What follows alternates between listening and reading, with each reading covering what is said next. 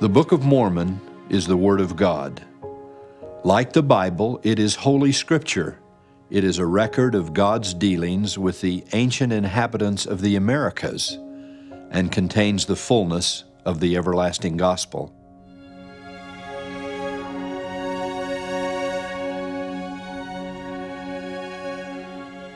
The book was written by many ancient prophets through the spirit of prophecy and revelation.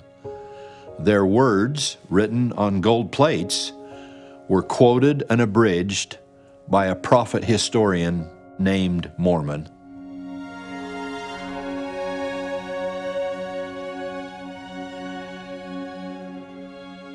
The crowning event recorded in the Book of Mormon is the personal ministry of the Lord Jesus Christ among the Nephites soon after his resurrection.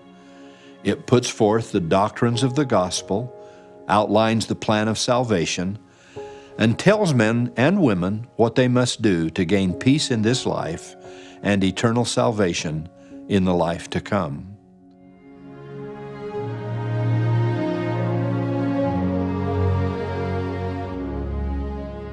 In due course, the plates were delivered to Joseph Smith, who translated them by the gift and power of God.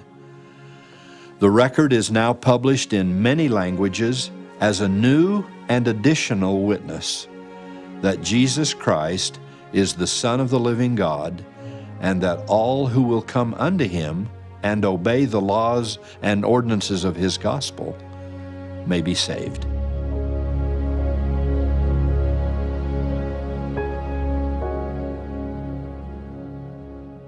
We invite all men and women everywhere to read the Book of Mormon, to ponder in their hearts the message it contains, and then to ask God, the Eternal Father, in the name of Christ, if the book is true. Those who pursue this course and ask in faith will gain a testimony of its truth and divinity by the power of the Holy Ghost.